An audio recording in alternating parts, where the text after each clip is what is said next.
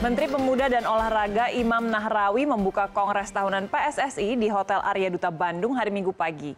Kongres yang dihadiri 107 voter dan peninjau ini membahas proses pembinaan sepak bola hingga menyiapkan tim nasional untuk berlaga di event internasional.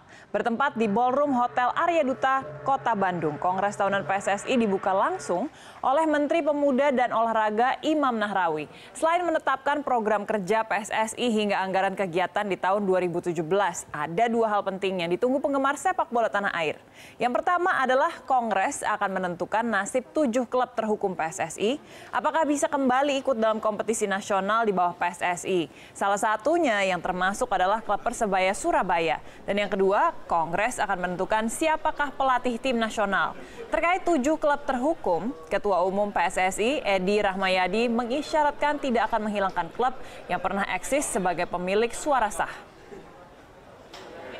Jadi perlu pemain bola yang banyak, perlu klub sebagai wadah pemain bola, otomatis voters akan berkembang, klub akan berkembang, dan tidak mungkin yang sudah ada malah dihilangkan. Itu salah itu. Pada kongres yang juga dihadiri 12 mantan kapten timnas senior itu, Menpora menegaskan pemerintah akan mendukung penuh PSSI dalam membangun organisasi sepak bola Indonesia.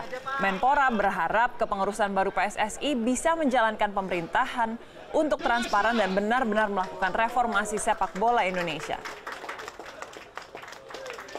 Kita juga akan mensupport bahwa tema profesional bermartabat betul-betul dijawantahkan dalam program nyata karena kita sudah sangat rindu akan prestasi nasional dan kita eh, melihat bahwa rasa optimisme itu betul-betul kita lihat dari seluruh pengurus, dari semua yang hadir di forum.